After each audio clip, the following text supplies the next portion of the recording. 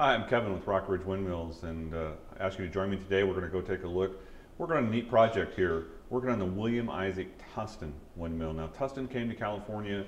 He was out here before the gold rush, a pioneer inventor, and he made the first windmill in California. Fascinating character, fascinating story.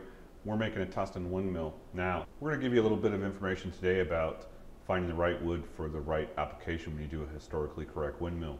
Now, this is a piece of oak. It's just fantastic. It's solid, great wood. Makes a great wheel arm, several structural components of a windmill. It's not so good for using as a blades. Now up here we have some uh, swamp cypress we call it. Comes out of Louisiana. It's air dried. We select this. We buy a whole lot of lumber to find really good stuff. We mill it down to individual pieces to get what we want for the correct application. Now we're on a real tough project. We're doing the 1870 historically correct windmill that was installed here in California. So we're hunting for old growth redwood. Now that's going to be hard to find. Original, clear heart, beautiful old growth redwood. So join Ray and I. We're going to go out and we're going to see what we can find for clear heart redwood. This ought to be a real adventure. Ray's got some good ideas. He knows a lot of people. So join us. We're going to go out and see what Ray's found for us. So we're at the lumber mill. This is the mill they saw redwood. So you can see behind me here, these are the redwood logs and then the lumber that's been processed through here. So we're gonna go inside the mill, we're looking around, we're trying to find the perfect redwood for our 1870 Tustin windmill restoration project. Um, this is the only way you're gonna find this stuff. You just don't call up on the phone and ask for it. Everyone will give you the standard answer, they don't have it. You have to go dig, you have to work to find this stuff. But we're looking for the perfect wood that would be used in 1870 when William Isaac Tustin built this windmill.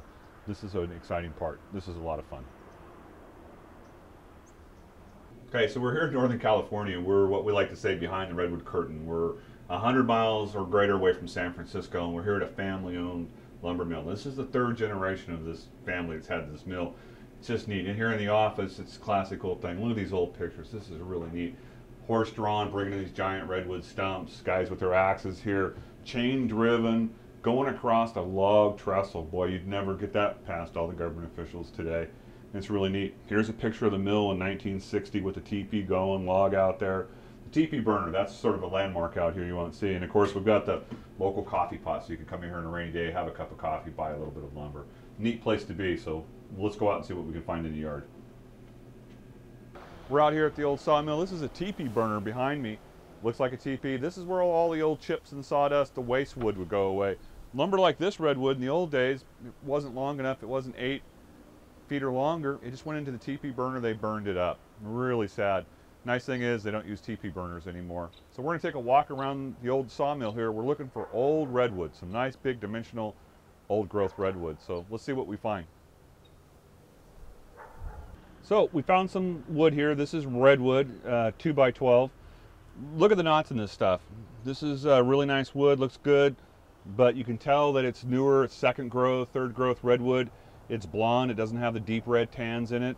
And also these large knots. These knots would kill us for using it. Now this one's even loose as it's dried out here. So now redwood lasts forever. It's really good stuff. But for the quality we're looking for, these knots are unacceptable to us. So we're gonna keep looking around. We're looking for some old wood that's been here a while. Wow, look at this stuff now. To the untrained eye, this is like just old lumber sitting here full dimension. This is really thick. This is beautiful redwood. This is what we've been looking for. It's outside the teepee burner here. This stuff is probably what they call stump wood. Now, in the old days when they saw these logs, these logs were huge at the base of them. They were so big, they couldn't get a saw all the way through them. So they would actually go up the redwood tree quite a way, sometimes 15, 20 feet off the ground, just so they could get their whip saws, the old hand saws, to go through this stuff. Now, that was left out in the wood the stump down from where they cut off the tree. Now look at this. It's not eight feet long, it's, it's shorter stump because the stumps weren't that big. But look at that beautiful vertical grain redwood. Nice, deep color. Boy, this is really nice stuff. Now this is a piece of the same lumber. We've run it through the resaw and cut it down. And then we just want a quick coat of conversion varnish on it just to help bring it out. Look at that. Now we left this rough sawn you know, we don't want to sand this stuff down. We want it to look just like it did in 1870. This is historically correct. But we did put a finish on it. They probably would have used some kind of oil, something like that on it to uh, preserve it, although the redwood would just last forever out there without preservative, but I bet you there was some linseed oil, something on it. So this is just gorgeous stuff. Look at that after just a little bit of stainer conversion varnish on it. It's really wonderful.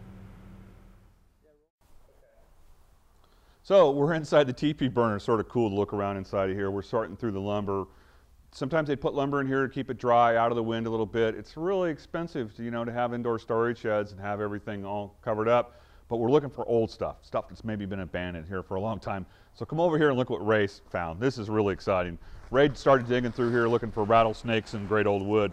Look at this. This is old growth redwood, isn't it, Ray? This is uh, unbelievable find. This is some beautiful old growth redwood we found at this uh, old third generation sawmill.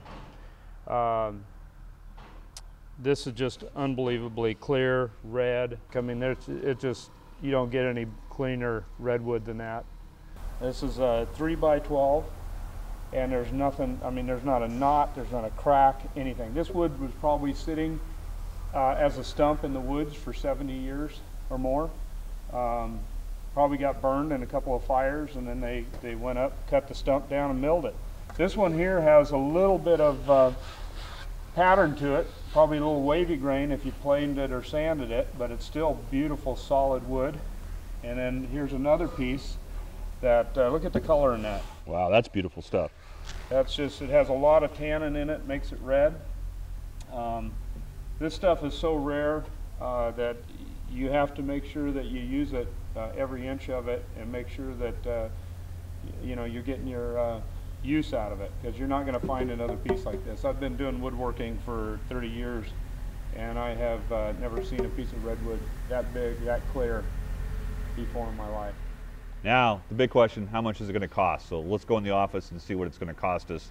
That's the tough part about this. But what a treasure to find. This is really exciting.